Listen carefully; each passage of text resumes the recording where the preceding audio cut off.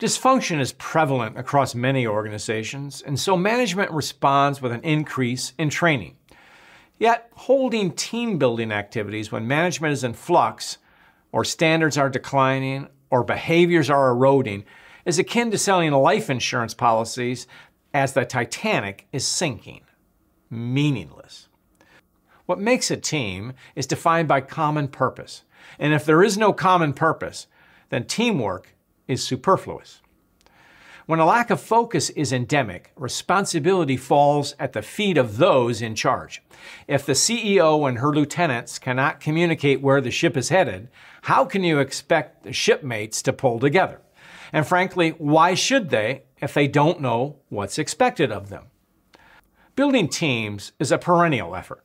So much so that when we use the term team building, many employees roll their eyes. They also do a mental checklist of all the team building exercises they've experienced radioactive contamination exercises, trust falls, whitewater rafting trips, and backyard ropes courses. Commitment, wrote Patrick Lencioni in Five Dysfunctions of a Team, is the function of two things clarity and buy in. When there is no leadership, clarity is clouded and buy in is non existent.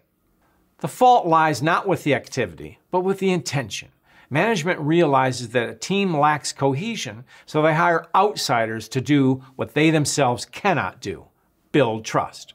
Dysfunction stems from a lack of trust. The way to build trust is through commitment that emerges from listening to what employees have to say in order to determine the problems. Members of dysfunctional teams live lives of daily misery because their ability to make improvements is discarded by those in charge. Savvy managers challenge individuals to problem solve and empower them to put those remedies into action.